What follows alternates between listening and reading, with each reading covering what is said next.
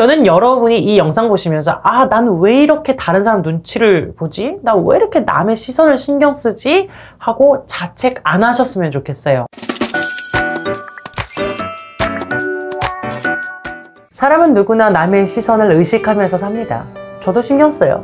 만약에 난 남의 시선 따위 전혀 신경 쓰지 않는데? 라고 말하는 사람이 있다면 그것도 난 남의 시선에 신경 쓰지 않는 사람으로 보이고 싶다는 거예요. 조금 나쁜 말로 센 척이죠.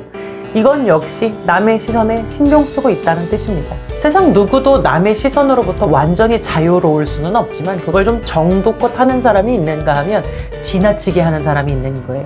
또 지나치게 할 경우에는 매우 스트레스가 심하고 그로 인한 여러 가지 심리적인 질병도 일어날 수 있습니다. 자, 여러분. 남의 시선을 의식한다는 건 마치 타인을 배려하는 것처럼 보이기도 하지만 사실은 오로지 나만 생각하는 거예요. 남들에게 내가 어떻게 보이는가 하는 자기 자신만을 생각하는 것이기 때문에 인간관계가 건강할 수 없습니다. 겉보기에는 친구도 많고 사람들과 잘 지내는 것처럼 보일지 몰라도 이 마음은 공허하고 대인관계가 좀 질적으로 낮습니다. 전에 제가 라이브 방송할 때 어떤 분이 자존심과 자존감의 차이가 뭐냐고 물어보셨었는데 자존심은 타인과 비교해서 나오는 거예요. 타인 때문에 자존심은 살기도 하고 죽기도 합니다. 근데 자존감은요. 나 자체에서 나오는 거예요. 누가 뭐라 하든지 내가 날 긍정적으로 생각하는 마음이 자존감이죠. 타인하고 상관없어요. 그러니 남의 시선을 지나치게 의식하는 사람은 사실 자존심은 세고 자존감은 낮다고 볼 수 있겠죠. 자, 이제부터 타인의 시선에 신경을 조금 덜 쓰도록 여러분의 생각을 바꿔드릴게요. 가장 첫째로는 나를 있는 그대로 인정해야 돼요. 제가 자기 자신을 수용해야 한다는 말을 영상에서 되게 자주 하잖아요. 근데 거기에 자주 달리는 댓글이 그러면 너무 거만해지거나 자기에 빠지거나 발전을 못하지 않나 이런 말씀들을 하시는데요. 사실 자기를 있는 그대로 받아들이는 사람이 성장할 수 있습니다. 왜냐하면 성장이라는 건 나를 긍정하는 것을 토대로 시작할 수 있기 때문이에요. 만약 반대로 나를 비난하는 그 어떤 토대 위에 노력을 쌓아 올렸다고 해봅시다. 그러면 언젠가는 그 토대는 무너져요. 단단하지가 않아요. 왜냐면 나보다 더 잘난 사람이 나타나면 현재 내 조건이나 스펙과 상관없이 금방 멘탈 무너지거든요. 장기적으로 볼 때 나를 긍정하는 게 훨씬 더 발전적인 겁니다. 저는 여러분이 이 영상 보시면서 아, 나는 왜 이렇게 다른 사람 눈치를 보지? 나 왜 이렇게 남의 시선을 신경 쓰지? 하고 자책 안 하셨으면 좋겠어요. 우리가 어떤 감정을 느낄 때에는 그만한 이유가 있는 거예요. 내가 어떤 성향을 타고났고 살면서 어떤 경험을 했기 때문에 똑같은 상황에서도 사람마다 느끼는 바가 다를 수밖에 없어요. 그건 틀렸다고 말하는 게 아니라 다르다고 말해야죠. 근데 우리는 주변 사람들, 특히 부모로부터 넌 왜 그렇게밖에 생각을 못해? 넌 여기서 왜 그런 감정을 느껴? 넌 정말 멘탈이 약하다. 넌 정말 소심하다. 넌 정말 속 좁아. 이런 비난을 받기 일쑤였어요. 그래서 작은 일에 상처를 받는 나라는 인간은 정말 한심한 인간, 소심한 인간 이런 책망을 하면서 점점 더 나를 힘들게 만들었습니다. 사람은 자기가 살아온 경험 또 타고난 성향에 따라서 성격이라는 게 형성되었고 그 사람이 느끼는 감정은 적어도 그 사람에게만큼은 적절한 거예요.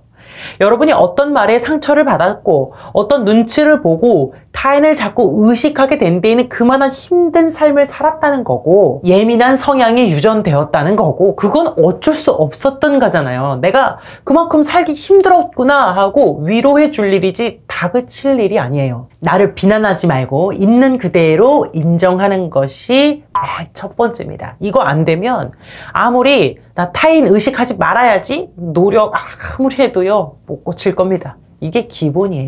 남의 시선을 지나치게 의식하는 사람은 인간이란 자고로 이러이러해야 한다라는 의무감이 있어요.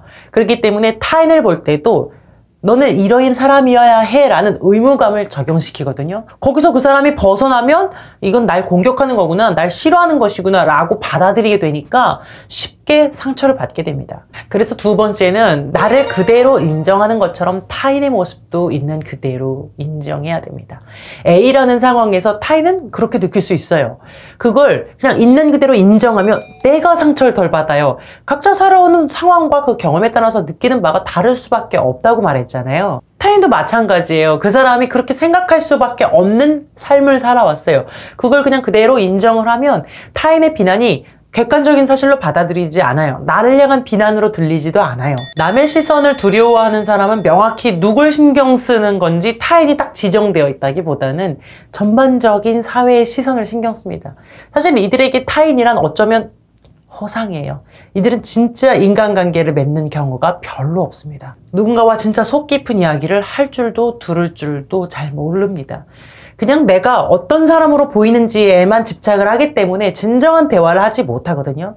그렇다고 해서 이들이 진짜 뭐 대인관계 능력이 없거나 친구가 없는 건 아니에요. 겉으로 보기에는 잘 지냅니다. 근데 이들 마음속에는 타인은 나를 평가하고 상처 주는 존재라는 그런 신념이 있기 때문에 어느 정도 선에 갔을 때 벽을 치게 되는 거죠. 그러니 이 신념을 버려야겠죠.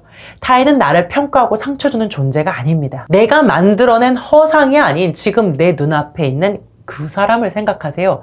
그 사람하고 소통을 하세요. 소통을 하는 과정에서 많은 것들을 얻을 수 있어요.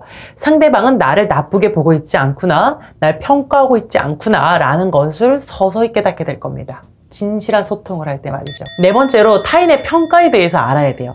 다른 사람을 쉽게 평가하고 판단하는 사람들이 있습니다. 그 사람들의 이 심리를 먼저 아셔야 돼요. 그래야 내가 상처를 덜 받아요.